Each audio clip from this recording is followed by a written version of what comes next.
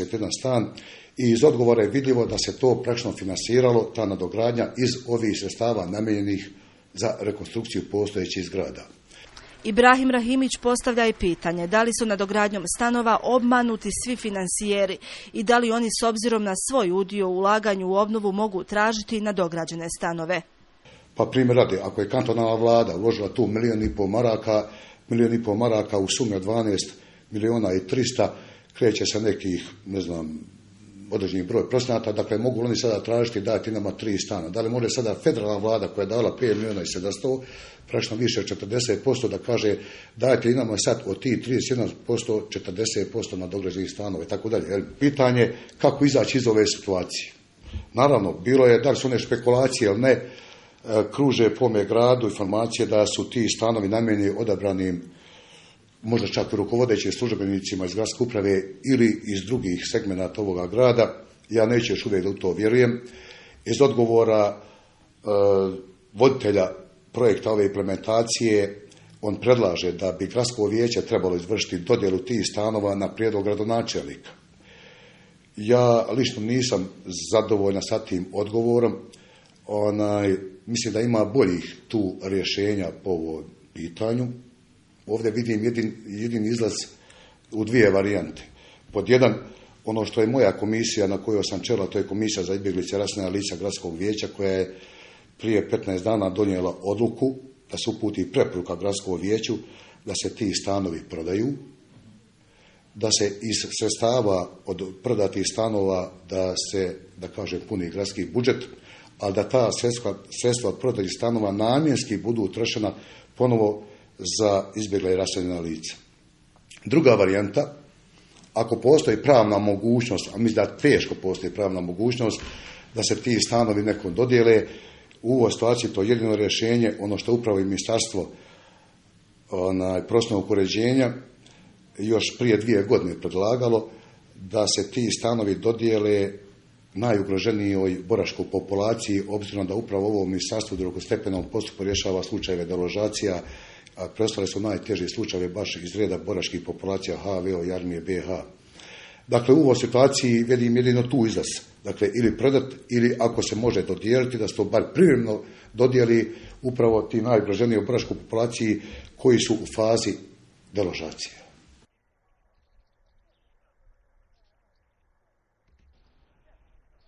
Vlasti uzimaju tamo gdje je najlakše, vjerujte. Ja ne želim nikog da uvrijedim, ja sam jedan od ti, ali od sirotinje je najveće uzeti, najlakše uzeti. Opet se izvinjavam kad kažem sirotinja, to su ljudi koji od 93. godine čekaju da se vrate u svoje domove. Ovo je prevršilo sve mjere. Sasvim je očigledno da su gradske vlasti mimo svih početnih planova bitno financijski opteretile cijelu investiciju, pa smo došli u situaciju da je kašnjenje u završetku cijelog projekta prouzrokovano širenjem gabarita obnovljenih zgrada, odnosno poskupljenjem obnove. Prijeratni korisnici stanova, tako su se ni krivi ni dužni, našli u makazama ranije datih obećanja i novih megalomanskih planova gradskih vlasti za koju oni imaju političke volje, ali očito nemaju novca. Jesu li se zgrade obnavljale da bi se u njih vratili prijeratni stanari ili da bi neki novi ljudi ostvarili još jedno stanarsko pravo? Odgovor bi moralo znati gradsko vijeće Mostara, ali i ukupna javnost ovog grada. Nakon mostarskih lovaca i ribolovci Mostara poželili su se fokusu na čudne kriterije vlasti po pitanju upravljanja i gospodarenja riječnim tokovima, prirodnim bogatstvima vodotoka. Iz kantonalnog ministarstva poljoprivrede, šumarstva i vodoprivrede upozoravaju mostarski ribolovci stižu krajnje čudne odluke. Prema njima i ribolovno područje Mostara dijeli se na dva dijela, a da cijela stvar bude zanimljivija, ribolovno pravo se odobrava svim ribolovnim udruženjima osim ribolovcima grada Mostara. Kako je ovo udruženje jedino multietničko, postavlja se pitanje jesu li nakon divljači i ribe dobile svoj nacionalni matični broj. Slijedi priča o ribici koja ne može ispuniti želje, čak ni kad bi htjela.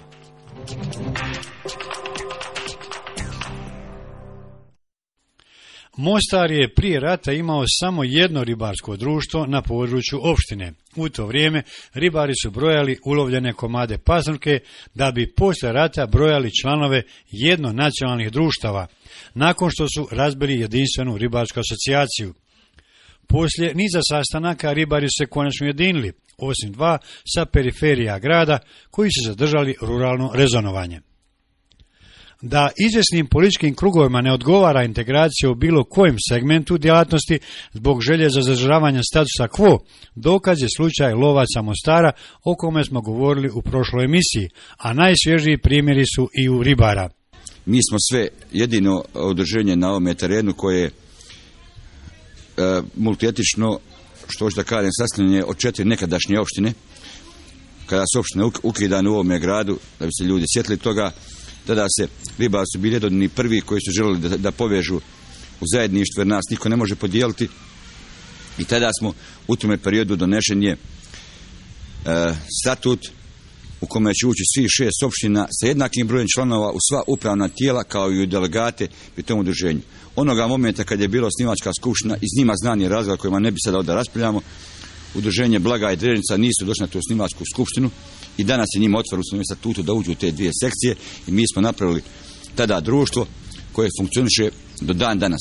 To je jedino od ovih svih društava momentalno koje postoje u ovome gradu, koje svake godine zaštiti rijeku Neretvu, ima zavisno od potrebe 4 do 5 uposlenih ribočuvara, koji redovno izmiruje sve svoje obaveze koje su po zakonu propisane prema ovoj državi, društvo koje je multietičko, društvo koje je za ovaj cijeli period bilo koja odluka da se u njemu donijela.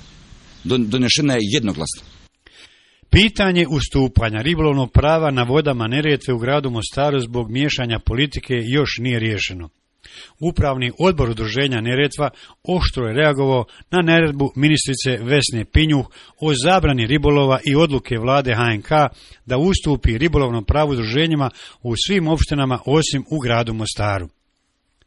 Pritom je tražila odgovor četiri društva koja egzistiraju u opštini i kada se očekivao dogovor, formirano je sa vrlo perfidnim ciljama peto društvo sa zahtjevom da ima isti tretman kao i ostala, premda ne posjeduje nikakvih nekretnina, niti zadovoljava uslove da može upravljati vodama. Dok ranije formirana društva unose imovinu, ribočuvare, materijalna sredstva ili ugled, novo sa samo par članova ulazi ravnopravno praznih šaka. Kost među ribare je bačena, a u pozadini je novac. Državna institucija koja treba da odredi kome će dadne to na upravljanje, jednostavno da je oni koji su joj se prijavili, da je otvorila papira preko svojih savjetnika koji rade u toj ministarstvu, da je vidjela ko je legalno, ko postoji, ko ima završne račune, ko radi, ko sve ovo vrijeme upravlja rijekom Neretvom na osnovu privremenih dozvola koje je davao grad Mostar, loka je stvar da se to samo produži da se da ovome udruženju. Međutim, iz nekih njima poznatih razloga, a te razloge bi ja sveo da bi javnost i oni sa osnovnom školom znali šta je gospođa, gospođa ministra Vesna Pinju e, objašnjava da je 1 i 1 5, ne više 3, nego 5. Jel me razumijete? Jednostavno smo dovedeni u situaciju da mi moramo da pregovaramo sa nekim ko, kome je davno nuđeno pod identičnim uslovima da budu dio nas, bio jednoga jedinstvene cjeline ribara koji nisu htjeli. Vjerovatno neko želi da ostvari neke svoje privatne interese za koje mi vjerojatno znamo. Prije tri godine, odnosno sada četvrta godina, preuzeo sam e, zaštitu napređenje ribljeg fonda u ovom udruženju. E, prvi naš izlazak svih članova upravnog odbora zajedno sa mnom na rijeku Neretu zatekli smo da se ovako izrazim jedno katastrofalno stanje. Udruženje je tada brojilo negdje nepuni 700 članova, dok danas broji negdje oko 1700 članova, tu negdje oko 1700 članova. E, sama brojka kaziva sve. Znači, svi ribari, ovi tisuću je lovilo, lovilo, nisu vadili dozvole. Danas, kad smo mi uzeli, znači, ribočuvarska služba, upravni odbor, svi građani koji misle dobro rijeci Neretvi su učinili nešto što danas imamo. Znači jednu adekvatnu zaštitu rijeke Neretve. Iz Neretve su predložili da svi zajednički pokrenu izradu dopune statuta koji bi bio prihvatljiv za sve, nakon čega bi se održala izborna skupština i zatražila ribolovna prava za tekuću godinu. Odluka upravnog odbora za ovakva dešavanja u društvu